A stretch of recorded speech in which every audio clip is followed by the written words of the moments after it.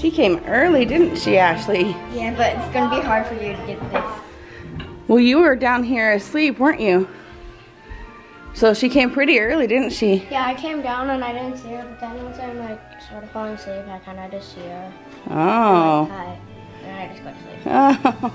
Okay, Chelsea, go get your hair done. We're going to church, but that was kind of a fun surprise, right, Ashley? This one's cracking. No.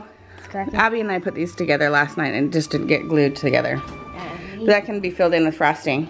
So is she going to join us today to do our gingerbread houses? yeah, What do you think? I want to use these for my Christmas. Is she going to give up her candy cane and her Smarties? I'm gonna use this. She took my Smarties, Ashley. I don't care. You know, they're my Smarties. I should be the only one who cares, huh? Oh. Okay, put them down.